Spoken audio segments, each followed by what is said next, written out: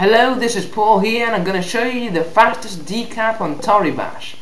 First we press C to hold all parts. Contract both pecs.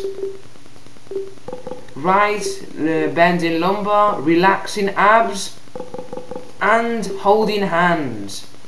Press space, press shift here to calculate the frames. Two, three, and that's an official decap in 18 frames.